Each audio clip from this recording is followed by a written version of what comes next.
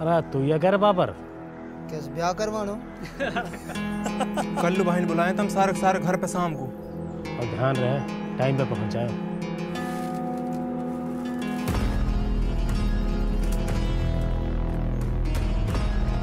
अगर तुम उस प्यार से कहतो तो मैं ज़रूर आता पर जाकर सुते ने कही है ना ये अकड़ अपने बाप की भी ना झेली। और कह दियो वा कल्लू से वहाँ मिलना है तो खुद चल के आवे चल निकल।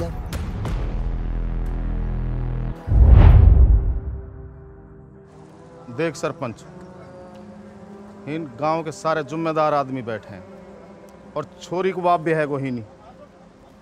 लेकिन मैं तो नू चाहूँ कि जाने गलत काम करो न, वालू सजा मिलनी चाहिए। लेकिन अगर मेरे छोरा की गलती है, गलती छोरी की भी है। अगर तुम असली मर्द हो न तो दोनों लो सजा दो। अगर तुम नू समझ रहे हो ना कि मैं माफ़ी मांग लूँगा, मैं माफ़ी मांगने वाला बिल्कुल ना हूँ।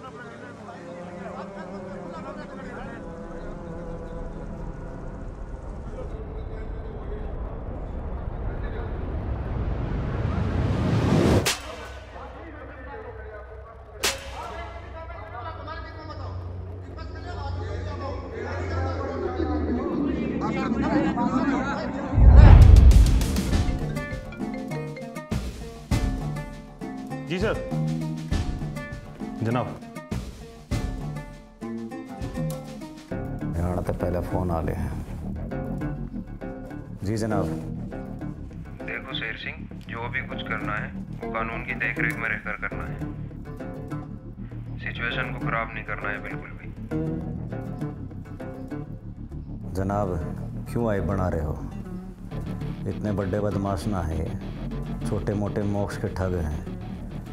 और पुलिस अपने सेल्फ डिफेंस में दो चार गोली मार भी दे है तो क्या दिक्कत होगी?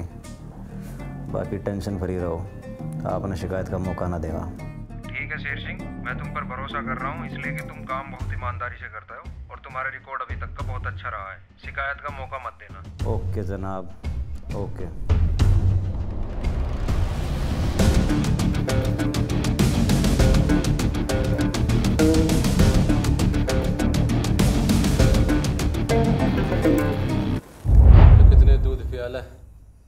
एक न एक दिन तो काटे गोई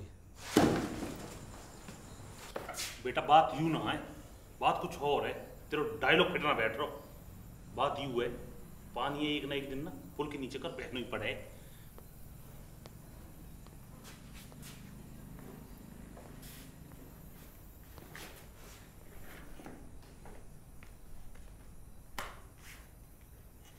तेरा ठिकाना है हो जी सौ मोटरसाइकिल बरामद हुई हैं।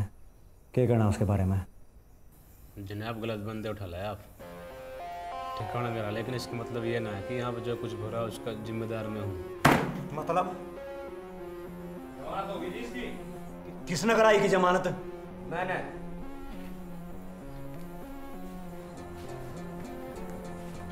ये तेहरा असली मुजरिम आगे सु असली मुजरिम पकड़ कर लाया। मेरा भाई का ठिकाना या ना किराए पे ले रखो देखते हैं चेयरमैन साहब। इसे कितने बालक पकड़ के लाओगे आप अपने भाई खातर? मज़ा होगा ये खेल में। चल रे।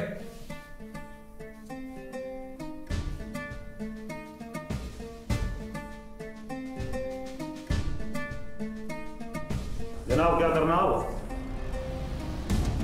वरना के? आज जो पकड़े थे ना उनका रिमांड लेंगे इस साले का माथा में खा हो रही है। इस साले ने पकड़ के भीतर में घेर बड़ा ही माती आ रहा है बैंड चो